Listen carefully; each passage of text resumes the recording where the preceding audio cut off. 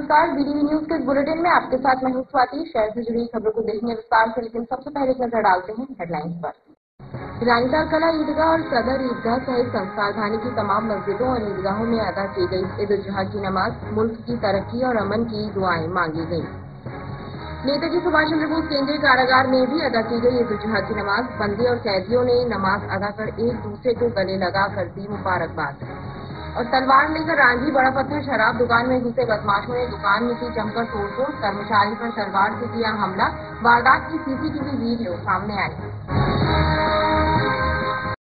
कुर्बानी का पर्व ईद जुहा परंपरागत आस्था और उल्लास के साथ मनाया गया। रानीताल ईदगाह में शहजादा मुफ्ती आज़म, मध्य प्रदेश हज़रत सूफी जियाउल हक कादरी बुरहानी ने ईद जुहा की नमाज़ अदा कराई। अपनी तकरीर में उन्होंने कहा कि कुर्बानी के पर्व को शालीनता से मनाएँ ताकि किसी की भावनाओं को ठेस न पहुँचे।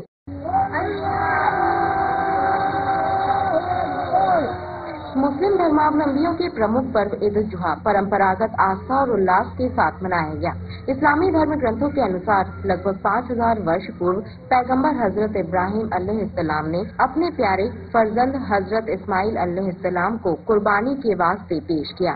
दरअसल ये एक इम्तिहान था जिसमें हज़रत इब्राहिम अल्लाम कामयाब हुए और खलील्ला कहलाए। हज़रत इस्माइल के बदले एक चौपाई की कुर्बानी कबूल हुई। कुर्बानी के इस महान यादगार के उपलक्ष्य में हर साल दुनिया भर के मुसलमान ईद जुहा बकरीद के मौके पर कुर्बानी पेश कर अल्लाह के हुजूर में अपनी बंदगी का सबूत पेश करते हैं। इस अवसर पर रानीताल ईदगाह में शहजादा मुफ्ती आज़म, मध्य प्रदेश हज़रत सूफी जियाउल हक कादरी बुरहानी ने ईद जुहा की नमाज़ अदा कराई और अपनी तकरीर में उन्होंने कुर्बानी का महत्व बताया। कुर्बानी वो अमल है कि जो अल्लाह को बहुत ज़्यादा पसंद है। और कुर्बानी का मतलब ये होता है कि अगर हमें अपनी अज़ीज़ से अज़ीज़ तर चीज़ भी अपने रब की रजा और खुशबू के लिए कुर्बान करनी पड़ जाए तो बहैसियत मुसलमान हम खुश दिली के साथ, चाहे हमारा माल हो, दौलत हो, चाहे हमारी जान हो चाहे हमारी भार और औलाद हो, हम अपने रब की रजा के लिए सब कुछ उसकी राह में कुर्बान करते हैं। को आका ने नूर क्यों फरमाया? वो इसलिए कि इल्म जहालत और गुमराही के अंधेरों से निकाल करके एक इंसान को सीधी राह दिखाया अगर आप दीन का इल्म अपने बच्चों को हासिल कराएँगे तो आपके बच्चे खुद भी गलत राह पर चल, नहीं चलेंगे। और कोई अगर आपसे गलती होगी तो आपके बच्चे आपकी भी इस्लाह करेंगे। आपके बच्चे आपके वफादार और आपके बच्चे आपके फर्मा बरदार रहेंगे।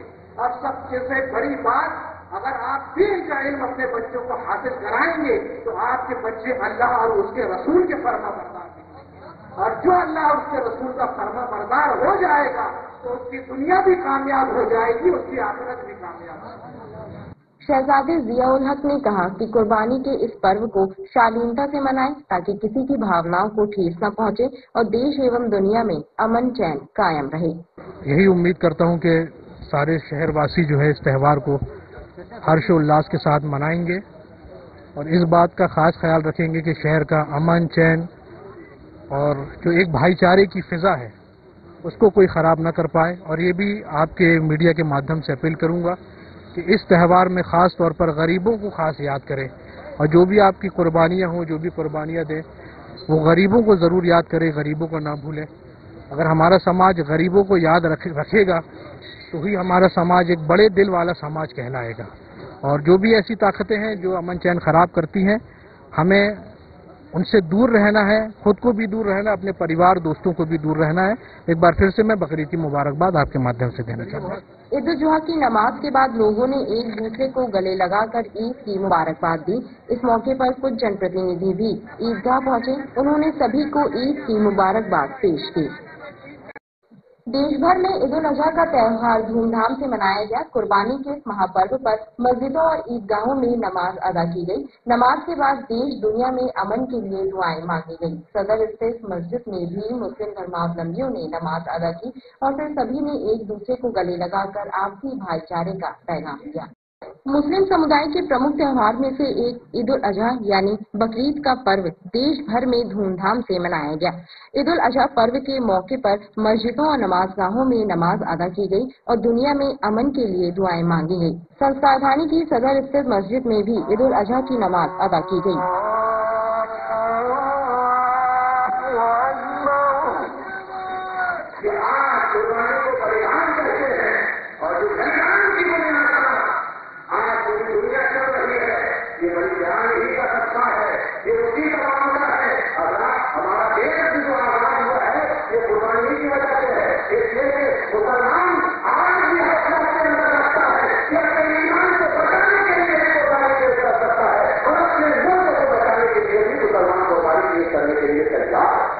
ईद अजहा जिसे आमतौर पर बकरा ईद के नाम से याद किया जाता है। मुसलमानों ने जो है सदर की ईदगाह में जो है ईद की नमाज़ अदा की है और भाईचारे की अमन और सलामती के लिए दुआ मांगी गई है और यही दुआ करते हैं कि अल्लाह तबारक ताला हमारे मुल्क हिंदुस्तान को खुशहाल रखे और मजीद और तरक्की अता फरमाए कि हमारा मुल्क पूरे वर्ल्ड के अंदर फ़र्स्ट नंबर पर रहे और, और अल्लाह और तरक्की अता फरमाए। ईद उल अजहा के मौके पर सभी ने एक दूसरे को गले लगाया और आपसी भाईचारे का पैगाम दिया। और अभी हम सब लोगों ने नमाजें पढ़ी। नमाज़ पढ़ने के बाद पूरे मुल्क की फलाह और बहबूदी की दुआएँ मांगी। हमारा जो देश है, आपसी सद्भाव भाईचारे का देश। इसीलिए कहा जाता है, सारे जहाँ से अच्छा हिंदुस्तान हमारा। आज पूरे मुल्क की फलाह बहबूदी के लिए, प्रदेश की फलाह बहबूदी के लिए, तरक्की के लिए, खुशहाली के लिए हम लोगों ने दुआएँ मांगी। तमाम सदर बाज़ार के मुस्लिम समाज के लोग और सभी लोग एतराब से सिविल लाइन गोरा बाज़ार, गोरखपुर, तमाम लोगों की जगह से सदर में नमाज़ के लिए लोग तशरीफ़ लाते हैं। और आज कुर्बानी का बहुत बड़ा पर्व, जिसे हम ईद उल अजहा कहते हैं। आज ईद उल अजहा का त्यौहार है। अभी नमाज़ के बाद अल्लाह के शान में, अल्लाह के हजूर में लोग कुर्बानियाँ अपने पेश करेंगे और ईद की खुशियाँ मनाएँगे। आज ईद का दिन है। नमाज़ अदा हो गई, नमाज़ पढ़ के सारे लोग ईदगाह से बाहर आके सब ईद मिलन हो रहा है और अपने अपने घर जाके सब कुर्बानियाँ करेंगे घर जाने के बाद। जबलपुर में अमन अमान कायम रहे, ये ईद का मतलब है। ईद उल अजहा के इस पर्व को कुर्बानी का प्रतीक माना जाता है। नमाज़ के बाद जानवरों की कुर्बानी दी जाती है। नेताजी सुभाष चंद्र बोस केंद्रीय कारागार में ईद उल अजहा पर्व पर मुस्लिम बंदियों और कैदी भाइयों ने ईद की नमाज़ अदा की। जेल में काजी हाफिज मौलाना मोहम्मद अब्दुल लतीफ कादरी ने नमाज़ अदा कराई। इस अवसर पर कैदी और बंदी भाइयों ने एक दूसरे को गले लगाया और पर्व की मुबारकबाद दी। नेताजी सुभाष चंद्र बोस केंद्रीय कारागार जबलपुर में भी ईद उल अजहा पर्व पर ईद की नमाज़ हुई। जेल के कैदी और बंदी भाइयों ने जेल परिसर में ही ईद की नमाज़ अदा की और एक दूसरे को गले लगाकर ईद पर्व की मुबारकबाद दी। जेल में शहर काजी मौलाना मोहम्मद अब्दुल लतीफ कादरी ने कैदी और बंदियों को नमाज़ अदा कराई। अल्लाह अल्लाह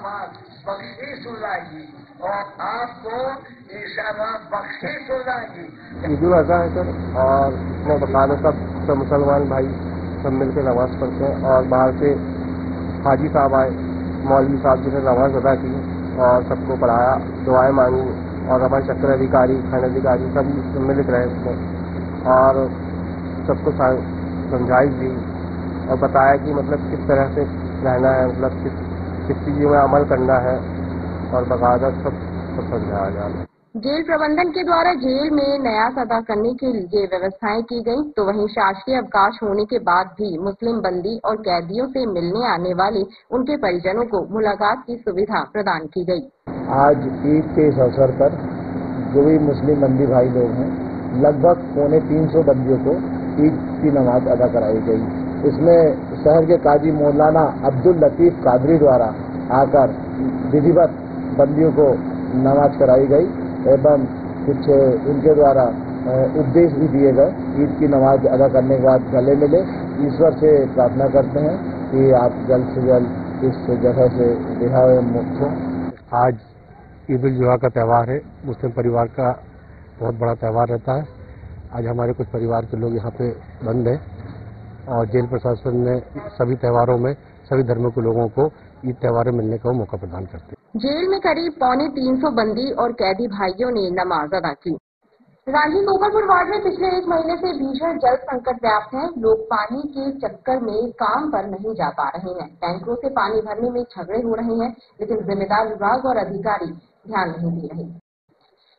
रांची कोकरपुर वार्ड में भीषण जल संकट व्याप्त है। पीने का मीठा पानी नलों में नहीं आ रहा है। सिर्फ़ नगर निगम के टैंकरों के सहारे क्षेत्र में पानी पहुँच रहा है, लेकिन इसमें भी विवाद हो रहे हैं। लोगों को पानी के लिए भटकना पड़ता है। क्षेत्रीय लोगों का कहना है कि गर्मी में ही नहर का मेंटेनेंस क्यों किया जाता है? मैं पढ़ाई कर रही हूँ, मेरा लास्ट ईयर चल रहा है। हमारे यहाँ पानी नहीं आ रहा है एक महीने से। टैंकर आता है, तभी हम लोग पानी भर पाते हैं। हमारे पापा, मम्मा घर मतलब काम पे ना जाके पानी का इंतज़ार करते रहते कि टैंकर कब आए और पानी भरे। क्योंकि यहाँ पर नल आ नहीं रहा है, बिल्कुल नल, पानी की बहुत ज़्यादा दिक्कत जा रही है। टैंकर के कारण हम लोग पानी भर पाते हैं, दिन में टैंकर आता है और रांझी गोकलपुर जो है परियर से लगा हुआ है। वही जबलपुर की बात कर ले, मानरवाला से लगा हुआ है। लेकिन बावजूद इसके भी हमसे बस मात्र 500 मीटर की दूरी में जल शोधन भी है। लेकिन यहाँ पर हम देख रहे हैं भीषण जल संकट है। लगभग एक मह- हो रहा है। यहाँ दोनों टाइम जो है पीने का पानी नहीं मिल पा रहा। जनता परेशान है। लोग पानी के लिए जो है दिन भर बैठे रहते लोग काम छोड़ छोड़ कर जो है अपना केवल इंतज़ार करते हैं कब टैंकर आ जाए तो हम पानी भरे, जिसके बाद हम दूसरा काम कर पाए। निगम के सारे जिम्मेदार अधिकारी मौन बैठे रहते केवल इंतज़ार करते हैं कि बारिश आई उसके अलावा उनका कोई भी सार्थक प्रयास नहीं रहता है। जनता को मूलभूत सुविधाओं के लिए जो टैक्स देती है, वो जनता आज परेशान है। पानी के लिए तराही, त्राही त्राही। मची हुई है। हम न्यू गोकुलपुर वार्ड के निवासी हैं और हमारे यहाँ एक महीने से पानी की बहुत समस्या जा रही है टैंकर पार्षद जी अगर टैंकर भेजा जाता है तो हमें पानी मिलता है। अन्यथा यहाँ नलों में पानी बिल्कुल नहीं आ रहा है। शिकायत भी की है पार्षद जी के मिलकर हमने धरना भी रखे थे उसमें भी कुछ नहीं हुआ। भीषण जल संकट झेलते गोकलपुर वार्ड के निवासियों का कहना है कि नर्मदा के किनारे बसा जबलपुर प्यासा है। यह हैरत की बात है। शहर में पानी की कमी नहीं है, लेकिन जल वितरण व्यवस्था चौपट है, जिसमें कोई सुधार नहीं हो पा रहा है। जल वितरण व्यवस्था में सुधार होना बेहद ज़रूरी है। शहर के अंदर खंभों पर लगी स्ट्रीट लाइटें दिन में भी चलती रहती हैं। इससे बिजली की बर्बादी हो रही है और जनता का नुकसान भी हो रहा है। लेकिन इस ओर ध्यान नहीं दिया जा रहा। घंटाघर से हाईकोर्ट चौक के बीच बिजली के खंभों पर लगी स्ट्रीट लाइटें दिन में भी जलती रहती हैं। विद्युत विभाग एक तरफ़ तो बिजली की बचत के लिए तरह तरह के उपाय करता है, लेकिन इसके बाद भी दिन के समय स्ट्रीट लाइट जलने से कई यूनिट बिजली बर्बाद हो रही है ऐसे में आम जनता में भी आक्रोश देखा जा रहा है कलेक्ट्रेट से लेके घंटा घर तक हाई कोर्ट तक, सब तरफ़ की पूरी लाइटें दिन में जल रही हैं, और जनता के पैसों की खिलवाड़ किया जा रहा है, और जनता को बिल में खूब बड़ा बड़ा के बिल भेजा जाता है, और इसकी कोई उनके पास बजट नहीं है, और उसका जनता, खामियाजा जनता भुगतती है। अभी दिन के ग्यारह, साढ़े ग्यारह बजे हैं, आप लोग देख सकते हैं। बिजली विभाग और नगर निगम के अधिकारी कर्मचारी दिन के समय जल रही स्ट्रीट लाइटों को बंद करने के पुख्ता इंतज़ाम नहीं कर रहे, लिहाजा बर्बाद हो रही बिजली पर अंकुश नहीं लग पा रहा है। जबलपुर के रांझी नाला क्षेत्र के बड़ा पत्थर इलाके में तीन बदमाशों ने शराब दुकान में घुसकर न सिर्फ़ तोड़फोड़ की, बल्कि एक कर्मचारी को तलवार मारकर घायल भी कर दिया। वारदात की सीसीटीवी वीडियो भी सामने आए हैं। घायल कर्मचारी की शिकायत पर रांची पुलिस ने बदमाशों के विरुद्ध प्रकरण दर्ज किया है। रांची थाना क्षेत्र के बड़ा पत्थर इलाके में तीन बदमाशों ने देर रात शराब दुकान में घुसकर न सिर्फ़ तोड़फोड़ की, बल्कि दुकान के कर्मचारी, अखिलेश गुप्ता पर तलवार से हमला कर दिया। यह वारदात सीसीटीवी कैमरों में कैद हुई है। वारदात के सीसीटीवी वीडियो भी सामने आए हैं। बताया जाता है कि तीनों बदमाश दुकान पहुँचे थे और उन्होंने पहले पैसे और शराब की मांग की थी। जब दुकान के कर्मचारी ने कहा कि वो कर्मचारी है और उसके पास पैसे नहीं है तो युवक वापस चले गए और फिर पंद्रह मिनट बाद वापस आकर उन्होंने पूरी दुकान तहस नहस कर दी। इतना ही नहीं, कर्मचारी अखिलेश गुप्ता पर तलवार से हमला कर दिया, जिससे वह घायल हो गया। उसे इलाज के लिए अस्पताल में भर्ती किया गया है। घटना की जानकारी लगते ही पुलिस मौके पर पहुँच गई थी। हमला करने वाले तीनों बदमाशों के नाम पुलिस के सामने आए हैं। पुलिस का दावा है कि जल्द बदमाशों को गिरफ़्तार किया जाएगा। बताया जाता है कि शराब दुकान में तोड़फोड़ करने के बाद तीनों बदमाशों ने टुमना एयरपोर्ट रोड पर भी आतंक मचाया और राहगीरों से मारपीट की। खजरी खिलिया बाईपास के पास स्थित शमीम कबाड़ी के कबाड़खा ने रजा मेटल इंडस्ट्री में बीते 25 अप्रैल को भीषण विस्फोट हुआ था। घटना के बाद से इंडस्ट्री का मालिक शमीम रजा फरार है। उसकी गिरफ्तारी पर पुलिस ने तीस हज़ार रूपए का इनाम भी घोषित किया है। फरार हिस्ट्री शीटर शमीम कबाड़ी के खिलाफ कोर्ट ने गिरफ्तारी वारंट जारी किया है। कोर्ट ने यह भी कहा है कि उनतीस जून तक हर हालत में शमीम कबाड़ी कोर्ट में हाजिर हो, नहीं तो उनकी संपत्ति कुर्क करने की कार्रवाई की जाएगी। खजरी चिड़िया बाईपास के पास रजा मेटल इंडस्ट्री में बीते 25 अप्रैल को हुए भीषण विस्फोट के मामले में अब तक इंडस्ट्री का मालिक हिस्ट्री शीटर शमीम कबाड़ी फरार है। पुलिस ने शमीम की गिरफ्तारी पर तीस हज़ार रूपए का इनाम घोषित किया है। इधर कोर्ट ने फरार शमीम रजा के विरुद्ध गिरफ्तारी वारंट जारी किया है। साथ ही ये कहा है कि शमीम हर हाल में उनतीस जून तक कोर्ट में पेश हो और अपनी संपत्ति का ब्यौरा पेश करे। अन्यथा उसकी संपत्ति कुर्क करने की कार्रवाई की जाएगी। जो हमारे थाना आधार कार्ड का प्रकरण है, इस प्रकरण में जो आरोपी है, उसके ऊपर एटी टू एटी थ्री की कार्रवाई जो है वो कोर्ट के माध्यम से कराई जा रही है, जिसमें जो है कोर्ट ने उस आरोपी को ये समय निश्चित किया है कि उनतीस तारीख तक वो उपस्थित होकर अपने संपत्ति के बारे में स्थिति को स्पष्ट करें, अन्यथा उनकी जितनी भी संपत्तियाँ हैं वो सब कुर्क की जाएँगी। पुलिस के द्वारा ऑलरेडी तीस हज़ार का इनाम जो है वो शमीम कवाड़ी के ऊपर घोषित किया गया है। इस मामले में पुलिस शमीम के बेटे और मैनेजर को गिरफ़्तार कर चुकी है, लेकिन घटना के बाद से ही शमीम फरार चल रहा है। जबलपुर के गोसरपुर थाना अंतर्गत ग्राम खचरी में दो परिवारों में जमीनी विवाद को लेकर खूनी संघर्ष हो गया। इस घटना में दोनों पक्ष के लोग घायल हुए। देर रात घटना में घायल एक पक्ष के कुछ लोगों को इलाज के लिए मेडिकल अस्पताल में भर्ती कराया गया, जहाँ कुछ घायलों की हालत नाजुक बनी। गोसरपुर थाना क्षेत्र के ग्राम खजरी में रहने वाले दो पटेल परिवारों में जमीनी विवाद को लेकर जमकर खूनी संघर्ष हुआ। दोनों ही परिवारों ने लाठी डंडों से एक दूसरे पर हमला कर दिया। हमले में कुछ लोगों को गंभीर चोट पहुँची। घटना में घायल हुए कुछ लोगों को देर रात से हो रहा अस्पताल से मेडिकल अस्पताल इलाज के लिए लाया गया। घटना में घायल कुछ लोगों की हालत गंभीर बनी हुई है। पाँच लोग थे वो लोग। वो जो सुरेंद्र पटेल, महेंद्र पटेल, साहिल पटेल और चेकू पटेल और उन्हीं के भैये भी थे साथ में, पाँच लोग थे सागर। तो उन लोगों ने ज़मीन पर कब्जा करके रखे हुए हैं सरकारी ज़मीन पर, वहाँ टपरा रखा हुआ है। वहाँ पर अवैध बेचे जाते हैं, जैसे शराब जुआ खिलवाया जाता है। चक्कर से उन मोचा जी और उनके परिवार के लोग कटाई कर रहे थे। लाठी लेकर और तलवार लेकर और सब्बल लेकर और राइड वगैरह लेकर आए और अचानक से हमला कर दिया, जिससे मेरे मौसा जी को और उनके पिताजी को बहुत ज़्यादा गंभीर चोट आई है। इलाज चल रहा है। घटना के बाद पुलिस ने प्रकरण दर्ज किया है और मामले की जाँच शुरू कर दी। गोराबाजार थाना क्षेत्र में जुए सट्टे और अवैध शराब के कारोबार के विरोध में कांग्रेस कार्यकर्ताओं ने थाने के सामने प्रदर्शन किया और नारेबाजी की। कांग्रेस कार्यकर्ताओं ने आरोप लगाया कि क्षेत्र में अवैध शराब और जुए सट्टे का कारोबार चरम पर है, लेकिन पुलिस इस पर अंकुश लगाने में नाकाम है।